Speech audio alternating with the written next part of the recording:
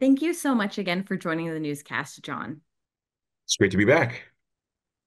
South Carolina's Republican primary was this past weekend.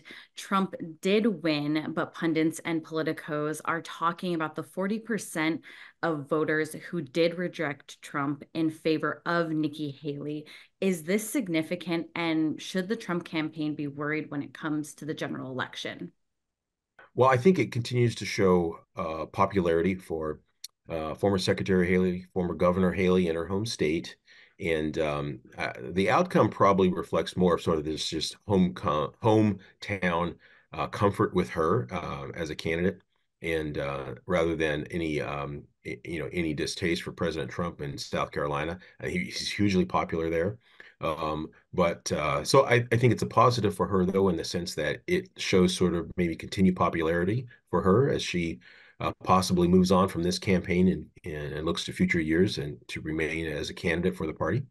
Um, but uh, certainly continues to show you know very strong support for President Trump. Um, you know, coming out of this, sixty percent, um, still very strong. There's no other candidates in the race now, so it's really a two-person race, and and probably shows um, you know some strength for Governor Haley in that uh, folks who might be a little disaffected with uh, former President Trump or those who are looking for an alternative candidate, maybe, um, you know, turning out for her. She certainly appealed to a broad swath of her home folks.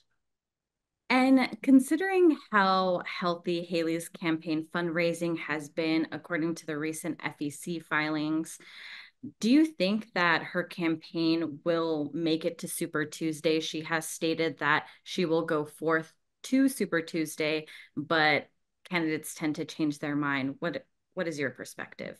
Well, she has made that commitment, and um, you know, at this point, uh, I'm not sure that there's anything uh, long-term damaging to her prospects uh, if uh, she continues to go through to Super Tuesday.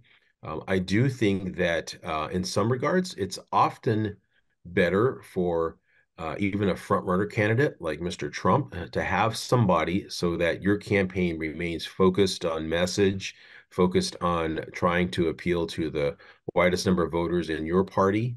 And so uh, sometimes that attention strays a little bit when you've got it all wrapped up really early. Um, so I think that that is, uh, you know, in, in, some regards, that's a that's a good aspect of her staying in, uh, even for the Trump campaign. Um, and my understanding is that one of her big financial backers, which is one of the interest groups uh, funded by the Koch brothers, has indicated that they will probably not be funding uh, you know support for her campaign, et cetera, moving forward.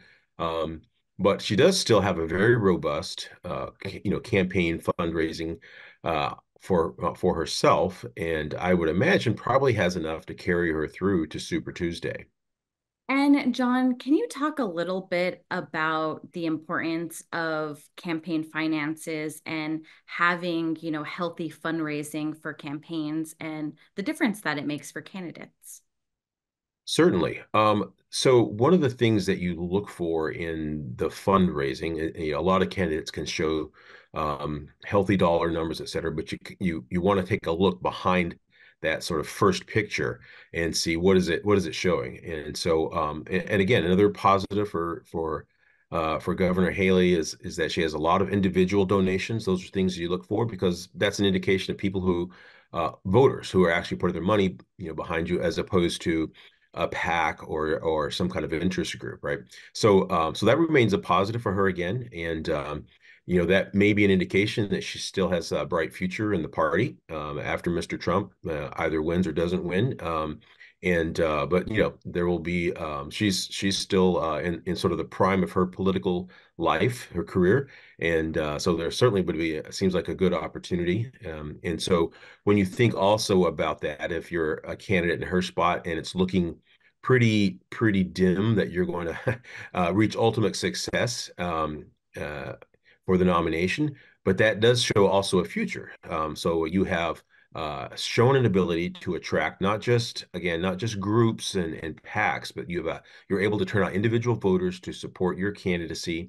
Um, and uh, the other thing is that um, those people kind of remain in a bank for you. And so when four years, eight years from now, whenever you launch again, that's an immediate source of financing of campaign financing that you turn to and it shows again assuming that they will turn out for you again they remain interested in you that shows both the ability to raise money but the ability to excite interest in voters. And so um, again i think you know the longer she stays in and she shows this sort of strength um, with with individual voters is, is uh, in many ways good for her long term.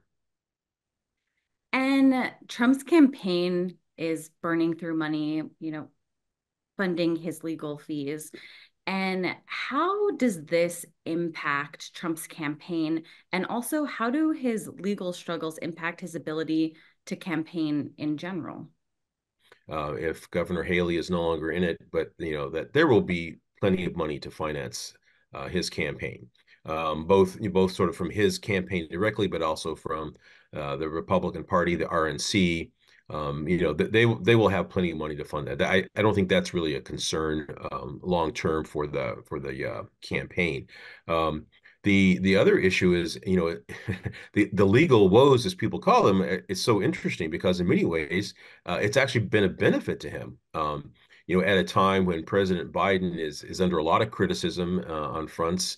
Um, you know, it's been a way for President Trump to stay in the spotlight, kept his name out there, reminding people who he is and you know there's a there's a strong core of, of folks who really feel like th- these things are targeted at him uh, from a political basis. And uh, so that sort of strengthens their revol- resolve uh, to continue to support and try to push his campaign forward. So um, in many ways if the intent of these attacks the, these legal attacks were to try to sink his candidacy i think they backfired in many ways. They made his candidacy stronger in many ways it's certainly funded additional fundraising as well for him. Every time, every time there's a big announcement out of one of these courts, uh, you know, he there's several million dollars that pour into his campaign coffers. So. Well, John, that's all the time that we have. Thank you again so much for joining the newscast and sharing your knowledge with us. Always fun. Talk anytime. Thank you.